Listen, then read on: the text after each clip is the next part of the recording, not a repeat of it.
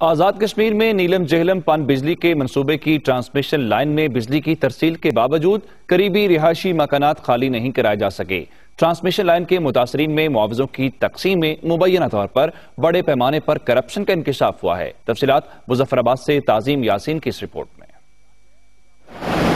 آزاد کشمیر میں دریائے جیلم کے کنارے پر واقع مختلف گاؤں کے متاثرین کا کہنا ہے کہ ٹرانسمیشن لائن کی تنصیب میں ایسے افراد کو بھی کروڑوں روپے کے معاوضہ جات ادا کیے گئے ہیں جو ٹرانسمیشن لائن کے متعلقہ علاقے کے رہائشی ہیں نہ ان کی متاثرہ علاقے میں کوئی ملکیتی زمین ہے۔ اس میں بڑی مالی بے ضابطگی ہوئی ہیں۔ چیئرمین وابڈا سے اور چیئرمین این ٹی ڈی سے ہمیں گزارش کرتے ہیں کہ اس کی واپس تحقیقات کی جائیں کہ ہم لوگوں کے نقصانات ہمارے ہوئے ہیں اور دعائیں بائیں جو ہے نا ان لوگوں کو معاوضہ جات دیے جائیں۔ جو ٹرانسمیشن لائن لگی ہے جو لوگ دور دراز یہاں پہ رہتے ہیں کوئی بیس کلومیٹر دور سے ان لوگوں کے معاوضہ جات ان کو بھی دیے گئے چیک ان میں تقسیم کیے گئے یہ سمجھ نہیں آتی۔ ٹرانسمیشن لائن سے نیلم جیلم پن بجلی کے منصوبے سے پیدا ہونے والی بجلی کی ترسیل شروع ہوئے۔ ایک سال سے زائد کا عرصہ گزرنے کے باوجود خطرناک مقامات سے انتظامیہ گھروں کو بھی خالی نہیں کرا سکی ہے۔ ٹرانسمیشن لائن کے متاثرین کا کہنا ہے کہ ان کی سینکڑوں ایکڑ زمین کے معاوضہ جات ادا نہیں کیے گئے جبکہ انہیں متبادل زمین بھی فراہم نہیں کی جا رہی۔ آزاد کشمیر حکومت کی طرف سے لوگوں کو متبادل زمین کی فراہمی کے حوالے سے بھی کوئی منصوبہ تاحال سامنے نہیں آ سکا ہے۔ جب لینڈ بچائی گئی تو اس وقت تو لوگوں کو کہا کہ یہ آپ کے مکان کے اندر کوئی نقصان نہیں ہوگا۔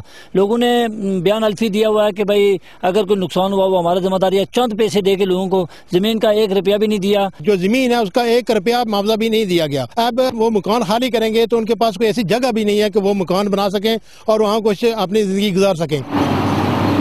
دوسری طرف وابڈا حکام اس حوالے سے کوئی موقف دینے کو تیار نہیں ہے، جبکہ مقامی انتظامیہ کا کہنا ہے کہ وابڈا نے براہ راست معاوضوں کی ادائیگیاں کی ہیں، جن کا ان کے پاس کوئی ریکارڈ موجود نہیں ہے۔ کیمرہ مین محمد نوید کے ساتھ تعظیم یاسین، دنیا نیوز مظفر آباد خبر